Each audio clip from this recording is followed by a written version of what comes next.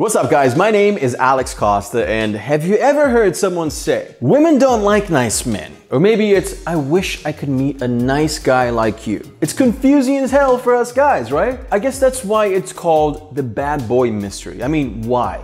Why is it that a girl would purposely choose someone they know is a terrible guy over someone they know is a good dude? Well, listen up. What they like is the idea of a bad boy. Some very few characteristics that bad boys have. But in reality, they don't want the full bad boy package. So today we're gonna go over when to go for the bad boy approach and how to get the baddest bad boy look when you need it. Bad boy trick number one, be mysterious. Think about it this way. If you tell the girl all of your good traits the first time that you meet her, then how hard is it gonna be to impress her the next day? It's actually better to not give away all of your best characteristics or even secrets in the beginning. You have to leave a little bit of mystery there, right, for her to find out herself. And that's because actions work better than words. So why not show them instead of talking about them, right? There's no reason to rush into getting to know someone. That's usually a turnoff for girls. So throw some mystery in the conversation. All right, being mysterious can be very sexy. So let your actions do the talking, you know? Give them time to form their own thoughts and opinions about you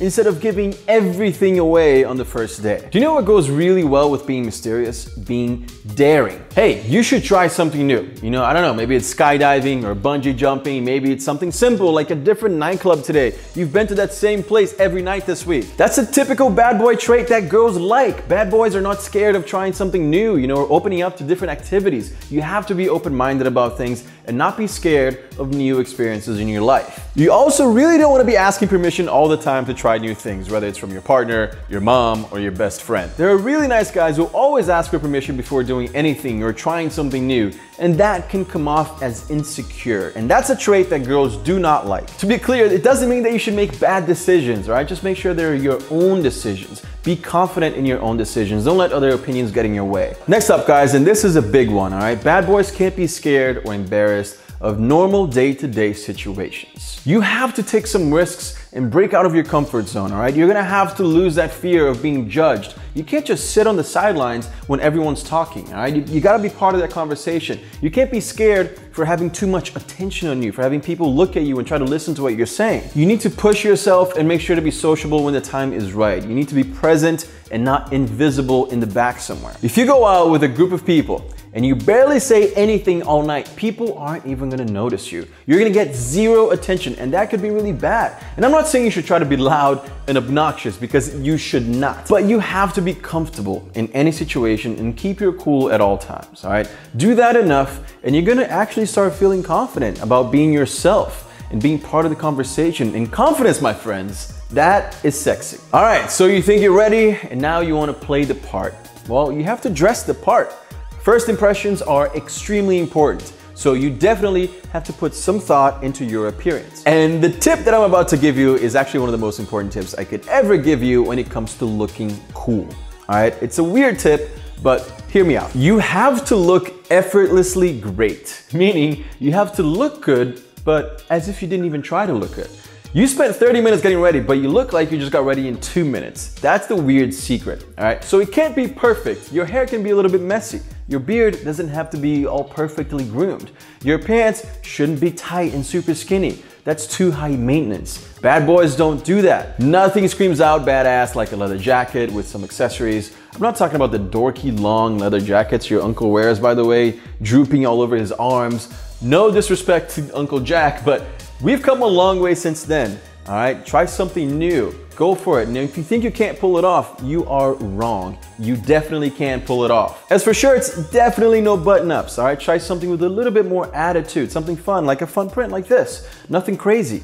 And oh yeah, you cannot forget to throw on some accessories. Rings, for example, definitely badass, all right? You're gonna wanna throw some accessories, whether it's a watch, a necklace, ring, something to just show some more personality. Even my hair right now, you know, it's a little bit per too perfect. Like, I don't look like a badass. It needs to be like super high and crazy, or like it needs to be coming down. Like, you know, I just had a fight with someone and I definitely won that fight. That's kind of the look you're going for. You can't pull this look off, by the way, if your posture isn't right. Dude, you're not gonna be a bad boy if you're walking around like this the whole time, all right, with your like slouched back and shoulders. You need to make sure that your chest is out and your shoulders are back. You know, good posture goes a long way. I've been working on my phone and my laptop way more than I should. So my posture has actually been terrible lately. And I actually bought me and my brother uh, these back braces here that really help. And if you guys are serious about this, I'm gonna leave a link in the description below.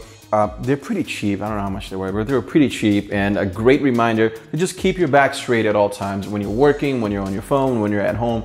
I wear these a lot. You can actually wear them under a t-shirt too. You can't really see them. So tip for you guys. Even if you aren't going for the bad boy look, you should still get one of these because bad posture is terrible for you. All right, if you guys wanna show me your favorite bad boy look, we have a Level Up Facebook community where we add new members all the time, where we share pictures. It's a private community, all right? Share pictures, stories. So I'm gonna leave the link for that in the description below. Go join so we can talk and uh, we can rate your bad boy looks, all right? And also, Guys, I'm so excited, man, because we are just about to hit 2 million subscribers, and I just want to take a moment to thank you guys. This YouTube journey has been nothing short of amazing, and I'm excited to celebrate this weekend with my friends here in LA. The road to 3 million starts now. I, I have the tendency of doing that. I'm like, all right, I hit this goal, let's make it bigger, let's keep going. Uh, also guys, I'm sending out free weekly emails, um, things that I don't usually talk about here on the channel, like personal stories of mine and how I overcame some of these issues. The links to my free newsletter is gonna be in the description below, so make sure to sign up. Thank you, thank you, thank you so much for watching, and I'll see you again soon. Peace. Actually, thank you is like too nice.